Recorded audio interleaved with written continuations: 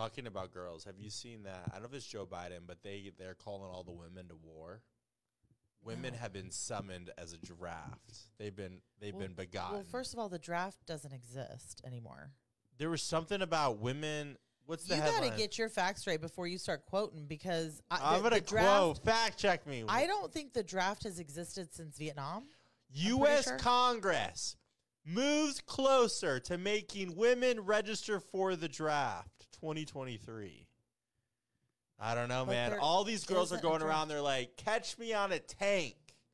Oh, I'm gonna get. I hope they have snacks out on war.